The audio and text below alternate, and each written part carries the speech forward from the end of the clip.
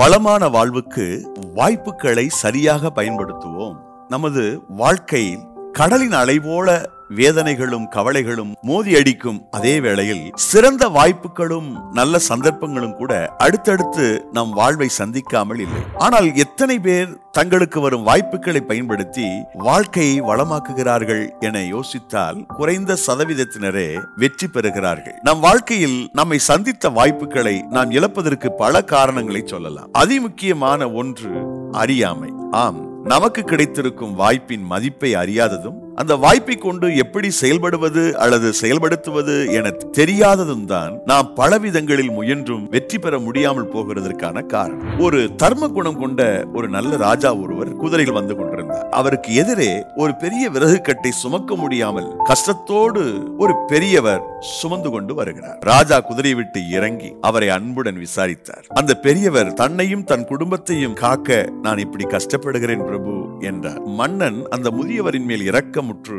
இனி நீங்கள் கஷ்டப்பட வேண்டாம். அதோ அங்கே தெரிகிறதே ஒரு சந்தன மரத்தோப்பு அதை உங்களுக்கு இலவசமாய் தருகிறேன். அதில் ஆயிரக்கணக்கான சந்தன மரங்கள் இருக்கின்றன. அதை வைத்து நீங்கள் திருப்தியாய் வாழலாம். இன்றிலிருந்து அந்த சந்தனத்தோப்பு உங்களுக்கு சொந்தம் என்று சொல்லிவிட்டு போனார் மன்னன். சில மாதங்களுக்கு பின் அதே பகுதியில் மன்னன் வந்து கொண்டிருந்தார். மன்னனுக்கு ஒரே அதிர்ச்சி. தான் முன்பு கண்ட அந்த முதியவர் இப்போது விறகு கட்டுக்கு பதிலாக கறி மூட்டையை தலையில் சுமந்து கொண்டு வந்தார். என்னது பெரியவரே? என்று வினவினார் அந்த மன்னன். அந்த பெரியவர் சொன்னார் பாருங்கள் ஒரு சூப்பர் பதில். பிரபு முன்பெல்லாம் எனது அன்றாட தேவைகளுக்கு அத்தனை கஷ்டப்பட்டேன். உங்க புண்ணியத்தினால நீங்க கொடுத்த சந்தன மரங்கள் எல்லாம் வெட்டி அவைகளை எரித்து கரியாக்கி வியாபாரம் செய்கிறேன். இப்பொழுது எங்கள் முழு குடும்பத்தின் தேவைகள் எல்லாம் நிறைவாய் சந்திக்கப்பட்டு மூன்று வேளை திருப்தியாய் சாப்பிடுகிறோம் என்றாரே பார்க்கலாம். இதை கேட்ட மன்னனின் மனநிலை எப்படி இருந்திருக்கும் என்பதை யோசித்து பாருங்க இந்த பெரியவரின் அறியாமை போன்றுதான் இன்று அநேகர் தங்களுக்கு கிடைத்திருக்கும் நல்ல வாய்ப்புகளை சிறந்த சந்தர்ப்பங்களை சரியாக பயன்படுத்த தெரியாமல்